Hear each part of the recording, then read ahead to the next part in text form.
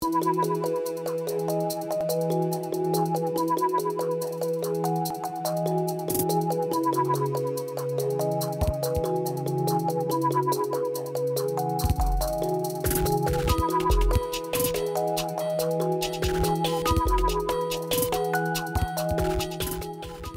sæl. Þetta er þátturum frungvalar og ég heiti Elinora. Hjá mér í kvöld er Einar Gretarsson frá Neðajarðar. Verður velkominn. Já, þakka fyrir. Nú ætlum ég að byrja á þínum, hver er þinn bakgrunnur til að byrja með? Já, ég er hann að myndaður teknifræðingur Mm.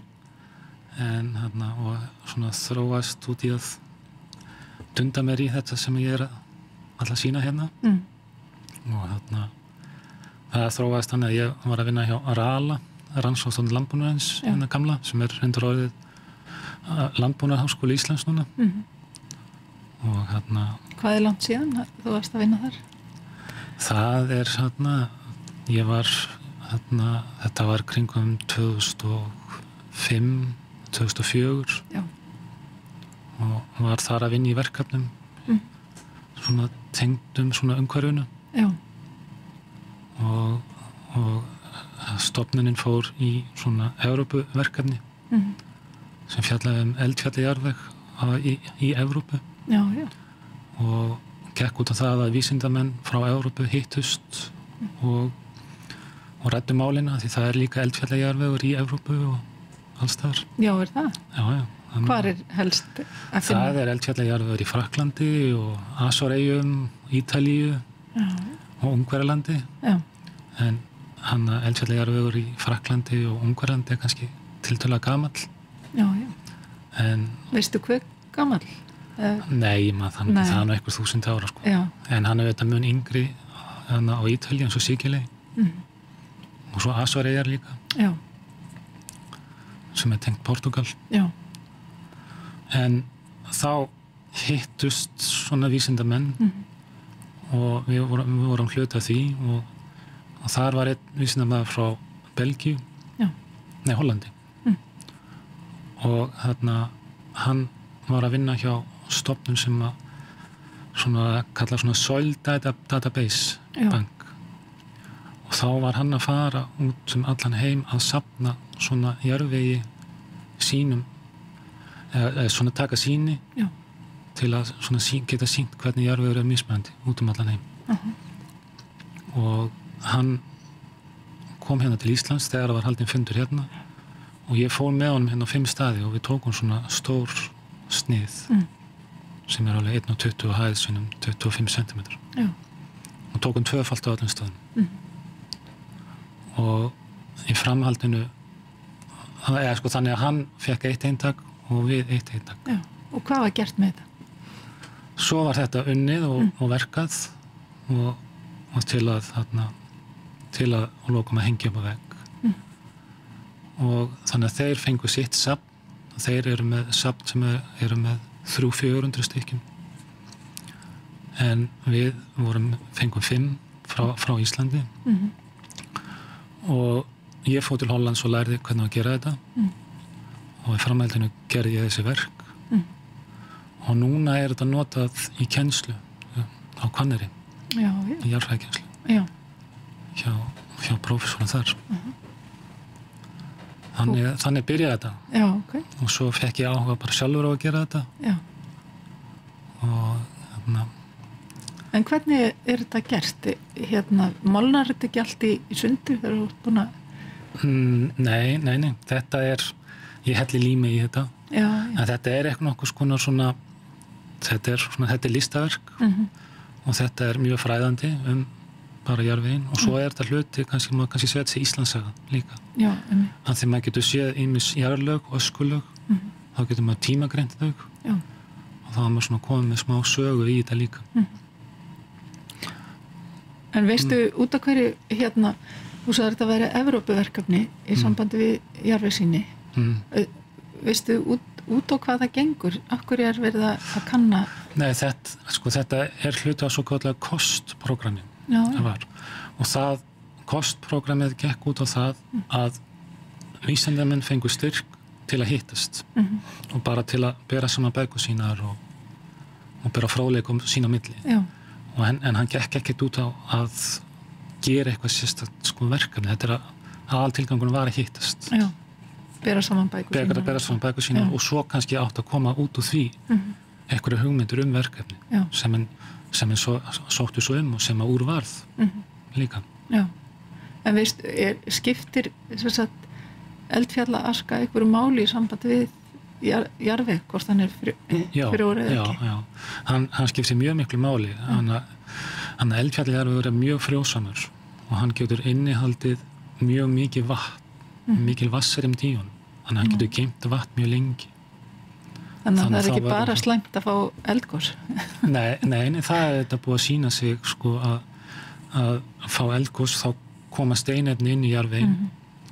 og það, þar vera hann frjórari og tökum dæmi bara hann að hann að eigafalli okkur skosið Já, að það varði þetta gríðarlega mikil aska fór hana undir eigaföllum Mhm.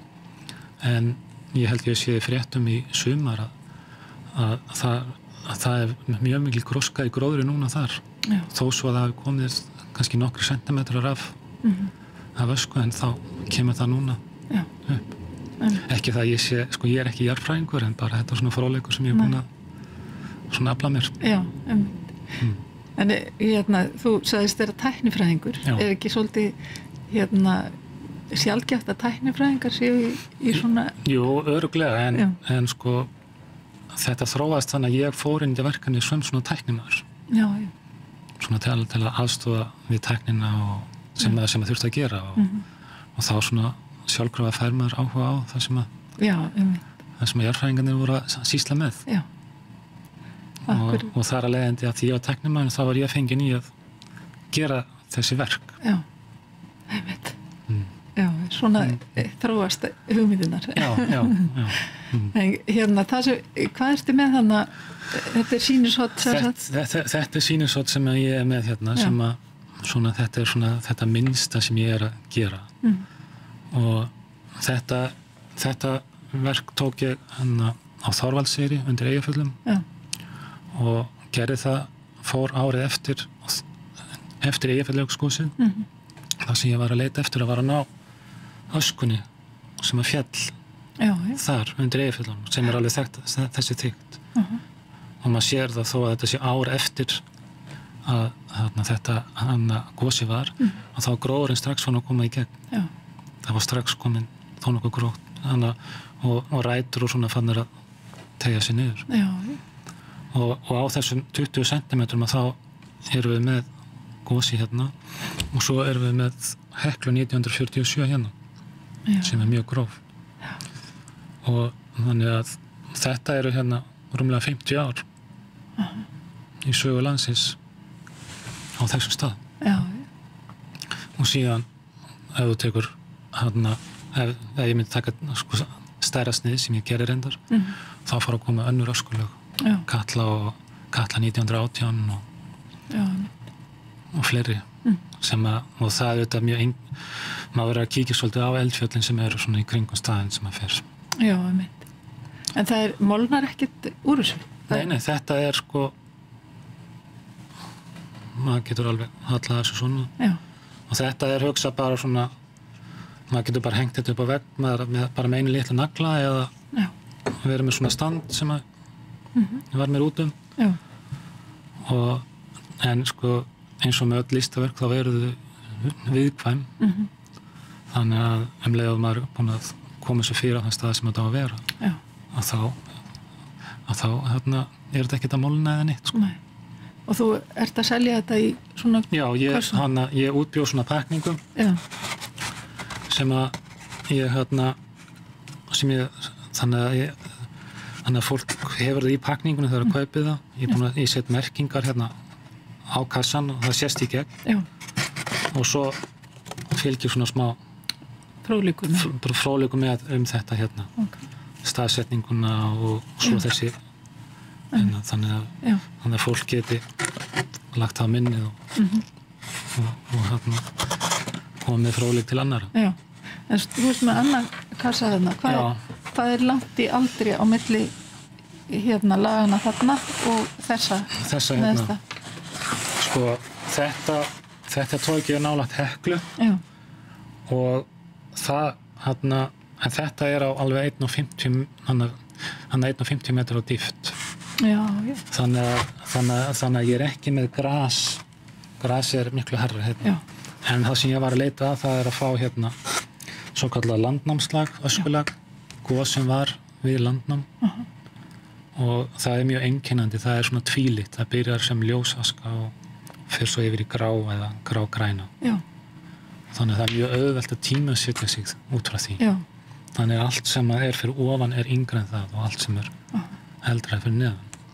Er það svona augljóst, þetta land, landnámslæði? Já, fórlega fræðingar eru mjög gladir þegar þeir finna þetta lag þá Já, geta já. þeir, þá er mjög auðvelt að tíma að setja sig sko. af því að því þeir þekkja sko góðsöguna Já, þannig að þá getur það auðveldlega ef þeir finna eitthvað öskulega fyrir ofan þá getur það auðveldlega sagt að þetta er þá kalla eða hekla eða já, eftir hvað maður stættur og hvar er hægt að kaupa verkið þín?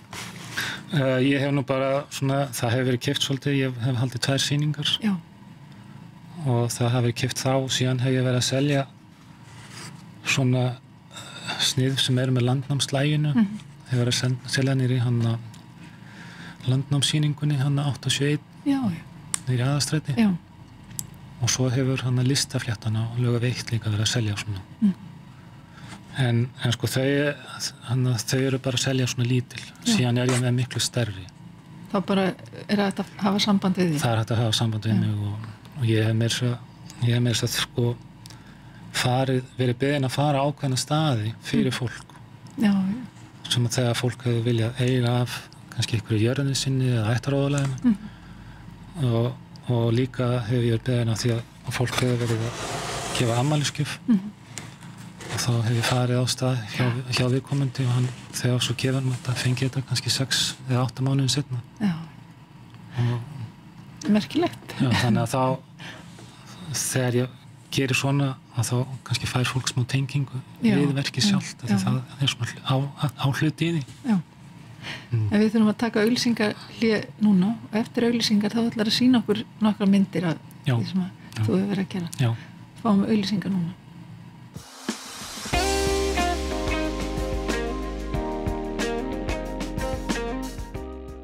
Kondu þeir í mjúkin? Mjúkís ís ásins 2014 er komin í Vestlanir. Byðin er á enda. Kjörís. Mikið úrval af vönduðum skrifstóhúsgögnum. Tilbóstagar í februar. Alltaf 35% afsláttur. Innex innrýtingar Fosshálsi 1. Allt í steig, fjögura rétta veistla og a la carte í perlunni aðeins 7390 krónur og það eru næg bílastæði við perluna.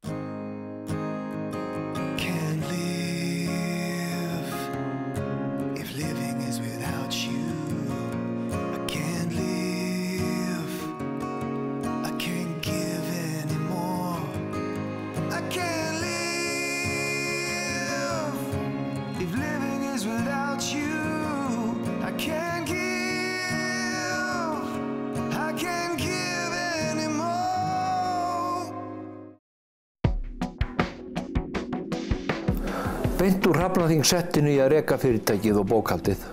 Ég hef aldrei getað þetta ef ég ekki hefði dottið niður á kerfislausni frá Stolpa, kerfistofun Íslands. Hér er allt á einu stað.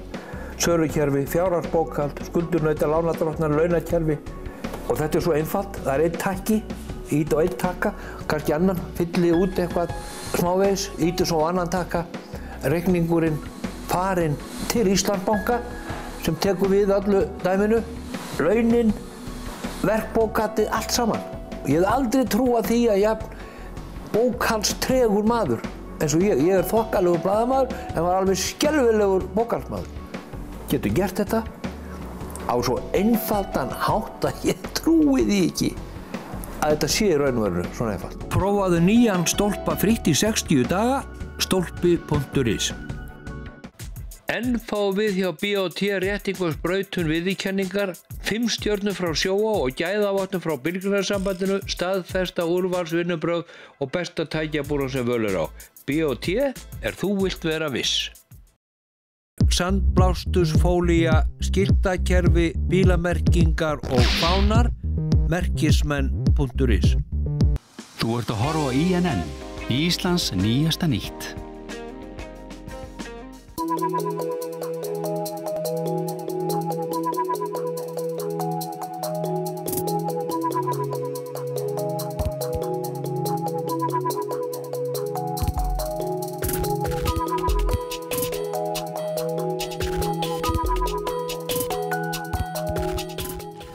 Komið í sæl aftur, þetta er þátturinn frumkvælar og ég heiti Elinora.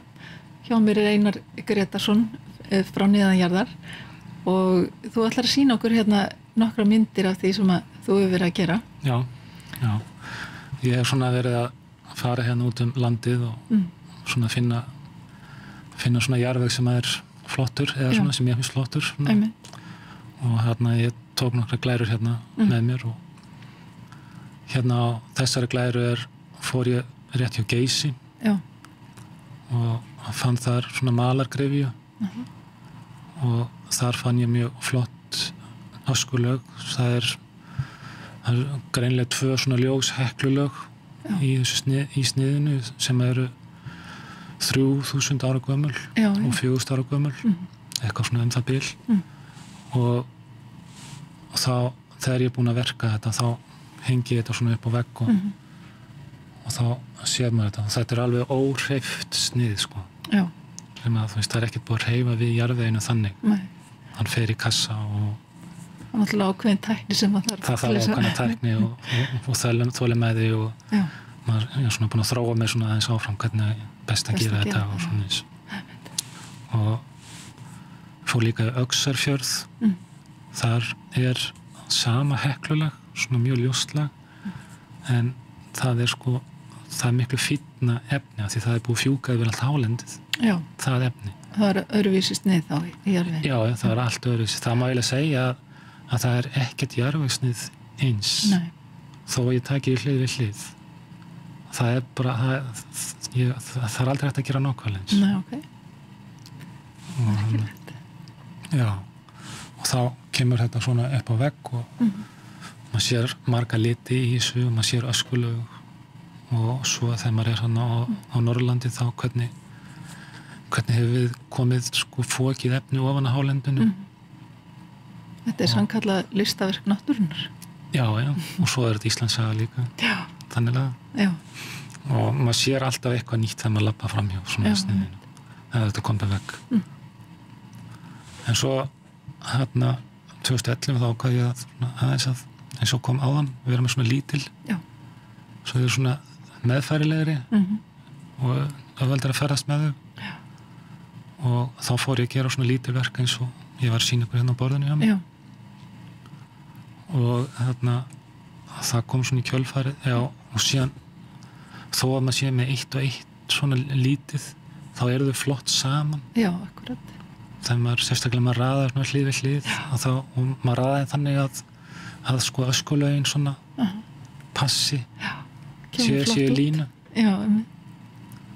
en hann að svona til að finna staðina sem að já, ég fer á ég bara kynna mér, tala við fræðimenn Mhm. sem ég þekki og bara hef samband við fræðimenn í Háskóli Íslands. Já, og svo reynir maður að leita á netun eftir einhvern greinum þar sem menn hafi verið mm Mhm. menn gefa út greinar og við með svona jarðvegslýsingum. Já, þannig að ég geti nú greint þetta svona rétt en, en ég, fæ, ég, ég fæ alltaf sérfræðinga með mér já, í háskólanum til að þetta sé rétt. Já, og þeir eru fljótur að sjá já. hvað þetta er. Hvað er besti staðurinn? það er Háskóli Íslands. Nei, besti staðurinn til að fá síni? Já, það eru bara nálagt heklu. Þetta er búin að gjósa mikið. Já, og svo þetta kalla líka. Þá fer maður ja, kirkjubæklaustur að þar. Mhm. en ég hef nú aðalega verið á Suðurlandi en maður getur eiginlega yfirleitt fyndið mjög flotta stað eða svona flott snið eiginlega hvar sem er þannig að sko uh, og kannski hérna fann ég kort hjá námskonarstofnun Mm. sem að sýnir öll eldgóðs eftir landnám Mm. þannig að þá svona gerir maður sér grein fyrir því hvað þetta er mikið Já. af eldgóðsum og þá fær maður líka kannski sko aldurstali rétt Já. hjá mér Já. Því að einhvern veginn hafa komist að þessar, þannig, að þessum ártölum þannig að, Já, þannig að þetta er alveg öruglega rétt einmitt. en svo í kjölfar Eyjafjallajökuls Mm. góðsins þá fór ég hann, hann upp undir landegar Mhm. nei, hann undir Eyjafjall en kannski má líka benda á það að, að sko að vindátt Mm. þegar eldgóðs er stjórnar rosalega miklu hvar askan fellur já, já, einmitt eins og, eins og sést hjá hana, hana í, í góðsinu á Eyjafjallajökli uh þá var stífa norðanátt og það fór mjög lítið bara norður fyrir Mhm. þannig að maður þarf að þó að sé stórgós þá er ekkert endilega að sé mikið öskulag nálagt Nei. en svona yfirleitt. Það farið eftir vindáttinni það fer alltaf til já, vindátt einmitt. Hérna var nokkra myndir þegar fórum hana, og hann Ólafur Bóndi gaf mér leifi og, og fó- fór mér svo hjálpaði mér að taka þetta. Já, já, og hann og ég gerði snið fyrir hann sem hann er með á hann sýningunni. Já, hann við veginn, hann er með hann mjög flotta sýningu sem verður að kíkja við ef maður keira hann framjá einmitt. Eh, hérna, hvernig er með leifi þarf maður leifi yfirvalda til þess að Mm. fara að taka svona stór síni eða? Nei, það, en hann ég hef nú ekki rekist á það en Nei. ég fæ, ég passa mér á því að fá alltaf leifi landeganda Mhm. þannig að mér finnst það svona skilir að maður. Já, þeir vita af manni þarna. Mhm. og þarna en þetta er svo lítið í samanbörði við margt annað sem að já, er verið að flytja út eða, eða þá fjúka og hafa út. Já en er, þarftu að eh, grafa djúpa skurði eða, eða notaru gamla skurði til þess Já, að fá? ég, ég reyna að fara í skurði. Mhm.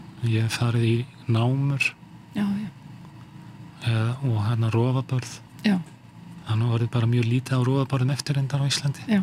Er verið, er allt fókið burt? Neða það er eiginlega búið að stöða svo mikið sko. já, það sem er ekki ekki burt, það er búið að stöða það Já. þannig að langastan búin að vera mjög dögleg í sínum verkum. Einmitt fara að fyrir kannski á fjalli já, svo það er allt tengingu við það sko. já, en þannig að ég hef nú hugsað sko, það væri nú gaman að fara í eitt rofabár sem er að fjúka í burt og þá getur maður farið og tekið eitt snið þar og, og geta sagt sko, hér- hérna þessum stað var þetta mikill jarfiður þó en hann er bara allir fókinu burt.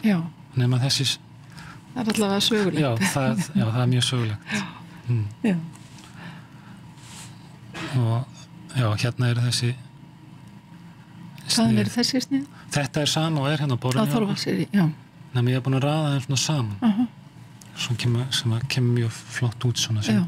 ein heild. Og, og, og kannski til að sína það að ég, þetta er sko, þetta er snið tekið á sama stað. Já, en þarna var ég að taka tveggja metra hátt Mhm. snið. Þannig að það, það er allt leifilegt í stærðum og, og, lengdum. Já, og það fer bara yfirleitt hvað maður bara með, oft með stóran kassa eða hvað maður kemst djúft já, akkurat. En svo um leið maður fyrir að hafa það stærra þá verður það þingra og já, verður e- það með, meðferðilegt. Öruglega erfiðar að, ná svona stórum er já, já, já, það, og svo verður erfiðar að flytja það Mhm. erfiðar að kannski aðeins að vinna það en, en það er allt hægt. Já. og ég er líka komið með hugmyndum að taka svona snið í mel. Já, já, þannig að sko, melur er ekki bara bara grjót, það er sko lagskiptingar í því já, já, en það er miklu erfiðar að því sandurinn er svo fljótur á já. þannig að þetta hrýnur allt um leið að maður er búin að grafa kringum það. hlýtur að vera miklu erfiðar Já. Uh, hérna svona lokum þá tók ég þetta við bakka þjórsár já, hvað sjáum við þarna þarna sjáum við mörg öskulög Mm. og við sjáum líka heilmikið sko hvernig þjórsáin hefur flætt yfir bakka sína og skilið eftir auður og sand. Já, já, þannig að maður sér að má greina það greina það að það, veist, það er svo blandað Mhm. þe- þessi lög sem hún skilur eftir. Já, alls konar bland. Þannig að hérna árum áður var hún ofta að flæða yfir og yfir, yfir bakkana. Já, og svo í framhaldinu þá finn ég svona skýringar Mhm. hvað er hvað er öskula og hvað er framburð þjórsár og, og smá texti um svona nágrannið og svona. Hefur þú fengið jarfræðinga til að hjálpa þér við já, þetta? eða? já, já. Ég, ég hef haf, haft þannig mikla hjálp frá Ólaði Arnalds fyrir hann yfirmanni minn. Já, hann er mjög góður Já. að skrifa svona. Em, svo hef ég verið með hérna sýningu í Álafoskósinni já, og það, það er ekki sýning núna en það, það hanga þarna eitthvað svona fjögur, fimm verk þar til sölu þá eða? já, já, það er allt í sölu Já. en þarna sett ég upp sýninguna og, Mhm. og gekk alveg bara ég var alveg hissa hvað það gekk vel Já, eða hvað allir voru það f- svona gaman að þessu fólk fekk svona áhuga á svona umhverfinu já, og, já, og, og svona jarðfræðinni já. em. Ég frétti að þú hefði fengið viðurkenningu. Já, Segðu mér aðeins frá henni. já, ég fekk hana, hana ég sótti um hana hana nýsköpunar og nei, jú, nýsköpunar þróuna viðurkenningu Músbæðar Já, og sem að er skipt í þrjá flokka A, B og C flokk. Já, og ég sótti um í B flokk og fekk fyrstu viðurkenningu. Já, til hamingi með það. það. þannig að það var mjög gaman. Já, og svona hvetum mann áfram og já, kjálfæri fekk maður mjög svona svona jákvæð, svona hann að viðbröð frá allum já, gott að heyra það. og já, það var mjög, mjög gaman að því Já. En hver eru svona þín framtíðaplun með þetta? framtíða Já, það er bara að halda áfram og svona að þróa þetta og finna flotta staði Já. og þannig að það, má kannski geta þess að þannig að það var um daginn varum við að výja þarna fjölbreytaskólan hann að upp Mósbæ, Já. F Mós já, og þegar þið voru að grafa skurðin þar nei hann að grunninn þar Já. þá fór ég í grunninn og tók jarfisnið og í kjölfarið á, ákvað Mósinsbæra gefa F Mós þetta snið í Já. svona opnunargjöf gaman að því. Og verður að setja upp á vegg eða er það Já, kannski það, komið? það er komið upp á vegg Já, þannig að það var mjög gaman að, já, að taka þátt í því já. En getur þú haft fulla atvinna á þessu eða lifa á þessu? Nei, ekki eins og ég er sko Nei. Nei. En er það er ekki svona- draumurinn? Jú, jú, Já. jú, jú. Það, en það, þá þarf mann að auka svolítið svona Já, innkomana ef maður að gera það en það, var, það var mjög gaman já. Og eru, eru útlendingar spenntir fyrir, Já, það er sko útlendingar, þetta sem hefur seljast inn hann niður á landnáms hann að að mér skilst þetta er yfirleitt svona jarðfræðingar eða kennarar sem eru að kaupa þetta Aha. það eru mjög hrifnir af Já. og þetta er þetta mjög er mjög, mjög gott kennslutæki fyrir, já, einmitt. Það er það. svona og já, kannski síðasta glæran Mm. þetta er svona þeir staðir sem ég hef farið á Já, og ég hef nú bara svona einbytt mér aðalega hérna á Suðurlandinu já. Að nú að taka þar. já, já, það er nóg að taka það en svona til gamans þá fór ég hann í gönguferð á hotstrandir Mm. þá tók ég svona svona litla kassa með Já, og tók þar Já. og það kom alveg ýmislegt. ótrúlega vel út sko. það var eiginlega betur en bjóst við Já, en að því ég var að fara svona langt ferralag þá ákvaði ég að, að taka þetta með mér já, Því miður er þá tímin okkar búinn. Ég þakka þér innlega fyrir komin á og hérna til hamingju með þetta allt saman. Já. Og ég vona að þér allsins besta. já, þakka það kærlega fyrir Og ég hvet ykkur endilega til þess að kíkja á, ertu ekki með Facebook síðu jú, Facebook síðan sem heitir Neðanjarðar og hérna hafa samband við Einar Gretarsson ef að, ef að þið hafið áhuga á þessu. Og ég þakka fyrir í kvöld og við sjáumst þetta viku. Verðið sæl. Stars shining bright above Night breezes seem to whisper